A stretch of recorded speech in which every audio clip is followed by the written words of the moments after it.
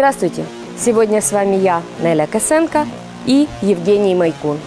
Сегодня мы вам расскажем, как в тренажерном зале проработать трицепс, при этом не травмировать локти.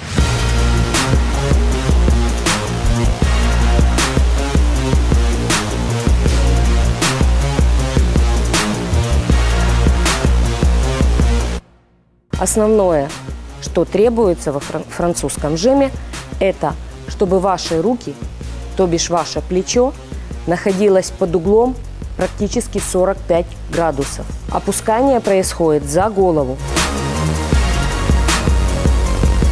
до прямого угла. Подъем происходит, штанга идет строго вверх, локоть вдавливаете под штангу.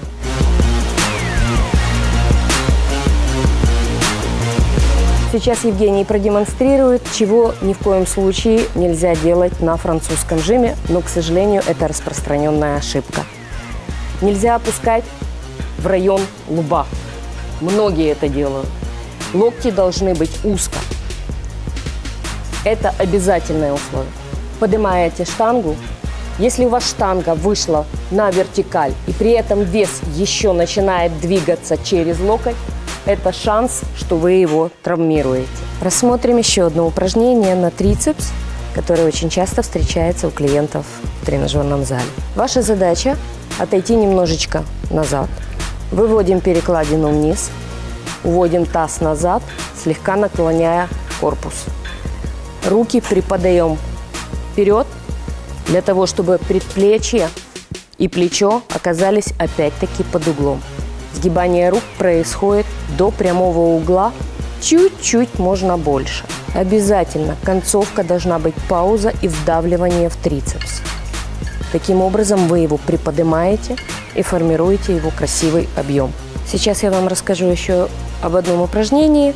Это разгибание рук с веревкой. Принцип выполнения очень похож на упражнение с перекладиной. Единственное, что концовка – отличается. Мы также выводим руки напрямую, но в конце вам нужно полностью растянуть веревку. Сгибаем также до прямого угла и разводите. Что это дает?